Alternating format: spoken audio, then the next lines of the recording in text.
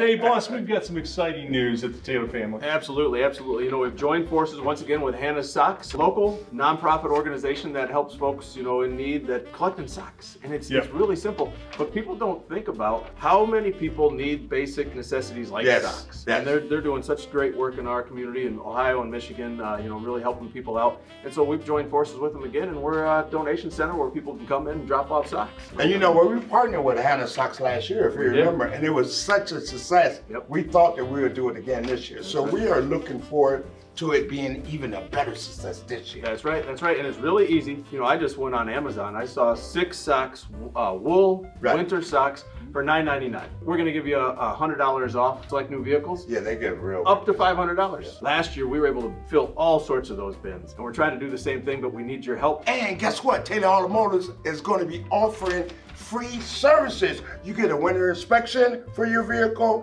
which we will also top off with a washer fluid, tire pressure, and uh, fill up with antifreeze. So Wow, that's pretty good. It's a great deal. All you gotta do is come into one of our Yes. locations. They're gonna help you out in service. So maybe you're not in the market for a car, but hey, Right. you need some services done. You know, this is a good time of year. People are traveling. yes. Want to make sure those fluids are topped off. So come in, donate some socks. You know, we're gonna take care of those services for you. So all around, everybody wins. We're trying to help Hannah Socks, and we need your support too. So come on into any one of our locations, bring in some socks. Thanks for helping out, and uh, have a happy holidays.